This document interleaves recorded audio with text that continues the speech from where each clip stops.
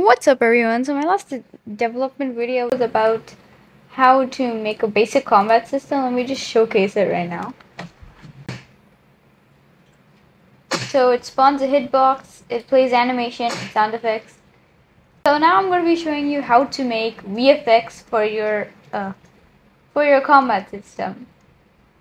So this is a VFX I got from the toolbox. You can ask a VFX artist to make you one you can get one from the toolbox or you can make one of your own. So I'm going to be showing you how to make one of your own for now and how to get it in your script, how to get it how to make it spawn once you attack the player. So let's start. First thing you need to do is I'm just going to delete this. I just did this for test. Home, top, go to part and click on block and it should spawn in a random block here. Go to Explorer and Properties. Scroll down to Size. And just change it to 111. And it will make it really small. Then just lower the transparency. I'm just going to make it 0.7 so you can sort of see it. Now to actually make your VFX, you need an attachment. So press on the plus on the part, click on attachment, and then add a particle emitter and it should make it sort of like this. Let me just make uh, put the part a little up. Yes. Make sure to save and clear. Um now go to texture in the particle emitter and just put in any any texture you want. I'm just gonna put in a random one i found and it will make it like this. If you wonder how to get a texture just go on the toolbox right next to part, just enable the toolbox.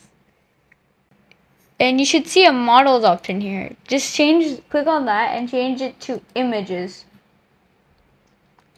And just uh, search anything you want, particle effects. Make sure you choose one without a background. Um, so like this is not a good particle effect one. This would be good. This is good. This is good. So yeah just choose any which over here. Right click and copy asset ID and just paste in the texture. You can make experiment on your own. So this is my texture. Now light emission change it to 1 so it's really bright and makes it, it gives it sort of a glow. Light influence will be 0 and since we made the light influence like zero, there will be a brightness option right here. Just change it to 12. You can go down. And here you'll get more options like rate, rotation, rotation speed, and speed, spread angle. So uh, speed just change it to 5 to 5. So make it go faster like this. So spread angle, you can change it to anything. Just experiment as much as possible. Uh, so I'm just going to do 360, 360. And it will become like this. Like it will just fly all over the place. Uh, lifetime, you can change it to 0, 6, 0,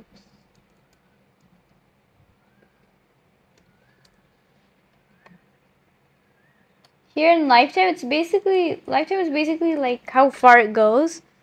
So at a certain point of time, it will just disappear. If I put it uh, 0 0.6, 0 0.8, then it'll go like this. Um, basically, now drag, I'm just going to put it to 2. So what drag basically means is how far the particles can go away from its source. So 2 it will be like this. Oh god, what happened?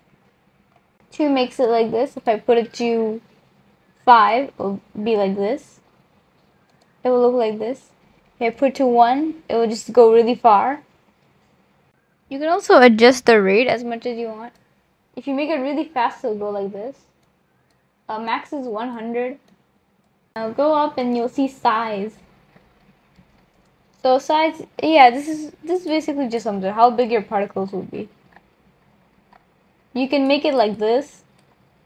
This is 4. 1 will look like this and 0.5 will look like this. It just looks like uh, tiny little beams shooting everywhere. If you click here, you might see three dots next to the size value. If you click on these three dots, you'll get this scene. It's called number value or number graph. Basically, this controls the size in different parts of the um, particle effect. So if you put this up, it will be really big. If you would make it small, it will be really small. Uh, so I'm just going to close it right now. Squash, it basically just squishes the particle. So you can give it negative values as well, and it will make it like this. If I put 9, it will look like this. That's a bit too big. You can also add a number uh, sequence for this as well. You can adjust the value like here.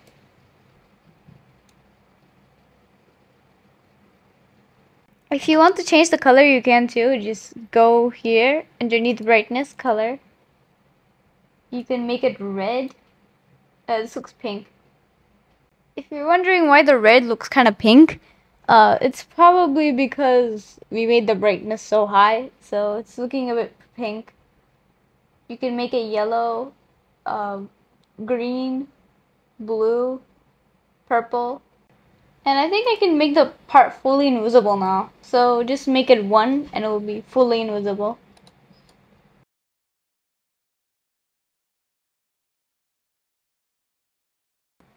And we'll just name the part whatever you want. Um, I'll name it, uh, let's just call this hit VFX. Now basically what we need to do, we need to put in replicated storage. So just go, so yeah, it just disappears. Basically our hit particle, particle effects are like, um, ah, when we hit, we want the particles to show. We don't want them to be in there by default. So we'll just put this in server storage. If you want, you can create a folder called VFX. Let me just name it VFX. And we'll put the hit, hit effects in there. Okay, now let's get into the actual scripting part of our VFX. Okay, so basically underneath line 24, we're going to do local local hit VFX is equal to game replicated okay wait a minute game dot replicated storage dot VFX folder uh, dot our folder. So in replicated storage, we have a folder. We're getting that. Square brackets, quotation marks, and our hit, uh, hit effects name. So mine is called hit effects. Yours can be named whatever you want. So dot attachment cl So basically what we're doing here is we're defining something called hit effects. And we're and this hit effect is equal to game replicated storage rep, we're getting the replicated storage service. Inside the service we have a folder called vfx inside that folder we're getting hit effects which is actually vfx and we're taking the attachment of this vfx so right here we have an attachment. And we're cloning it. This is basically a clone of our attachment that's inside our hit effects. Underneath this line on line 27, we're going to hit VFX dot parent is equal to, to hit dot dot parent find first child humanoid root part. Basically what we're saying is we're putting our heavy effects inside the humanoid root part. Um, basically what the humanoid root part of a player is every player has a humanoid and a humanoid root part. Every player that spawns in or every model so basically what we're doing is we're getting the humanoid root part and putting it inside here. The humanoid root part is basically the root of the of the player or the model. It's like it's this small tiny dot in here. So we're we're putting our VFX inside that. Now we're basically going to check if this attachment has a particle emitter. So to do that, we're just going to say for i comma v in pairs, we're going to do hit hit VFX, get children, do.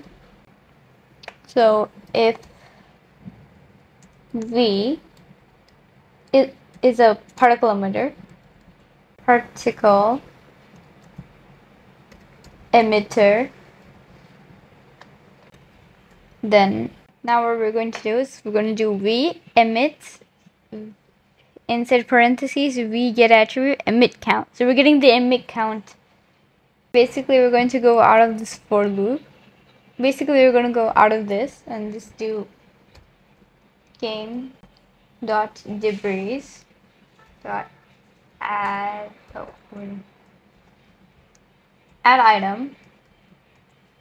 Let's just do hit VFX 2 so we're adding this to the game now. So now we're adding this to the game. If you face any issues or have any questions just put them in the comments or join my discord server. I will definitely respond. Now um, let's test to see if it works.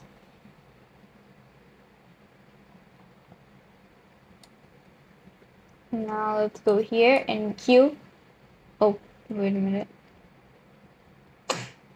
Yes, it's playing now. So it plays for a few seconds. If you want it to be shorter or longer, like right now, if you want it to be shorter or longer, just go to just go to where you're adding the VFX on line 35 and just change the value over here. So if you make it 1, it will be like this. If you make it 2, it will stay for a little longer. Okay, so that's how to make VFX on Roblox Studio. See you in the next video.